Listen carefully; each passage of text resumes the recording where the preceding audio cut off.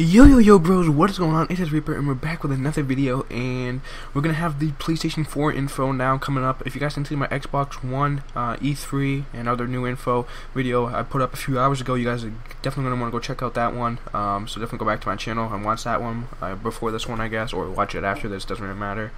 But um, I'm going to be having a comparison video where I compare both of them and put my opinions on coming up a few hours later today.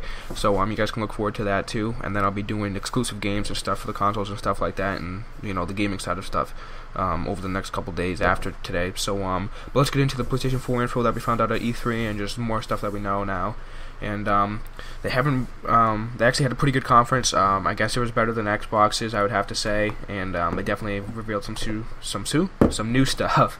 But um, so here's what we know: it's four hundred dollars, um, which is hundred dollars cheaper than the Xbox, but it doesn't come with an iMotion sensor. Um, the iMotion sensor and Move controllers are sold separately, which you know is kind of why it's hundred dollars cheaper than the 360. I would 360 than the Xbox One is what I would uh, think. So the iMotion sensor is kind of like the their version of Kinect, I guess.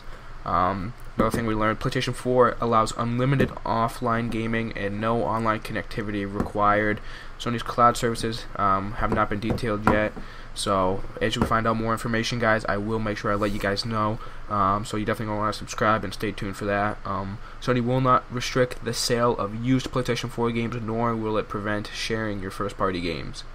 Um, they have also improved uh, media services like Redbox, um, Instant, and Flixster as well as original programming, but it's not going into huge detail about that stuff, and it has not disclosed whether it will have a TV integration feature like the Xbox One. And um, you know, other than that, what we know is that it's going to be a bit more powerful than the Xbox One. It, uh, the RAM is a little bit more powerful, same amount. Both systems have 8 gigs, but it's going to have uh, GDDR5, I believe, instead of DDR3. So it's going to be a bit more faster RAM and a bit more faster graphics processor, which is obviously good for gaming. good for gaming. So that's what we know right now, guys, for the PlayStation 4. Any new information, I'll make sure um, I'll keep you guys informed on that stuff. And uh, I'm going to be doing an opinion video later on uh, where I'll talk about what system I'll probably be getting first. I'll probably get them both, but what system I'll be getting first and kind of the ups and downs of both systems and how they compare to each other. So look forward to that video later on, guys. Hope you guys enjoyed, and um, hope you guys enjoyed the pictures of the PlayStation 4. It looks pretty sick, if I had to say so myself. But um, that's pretty much it. Hope you guys enjoyed, and I'll catch you guys later. Peace.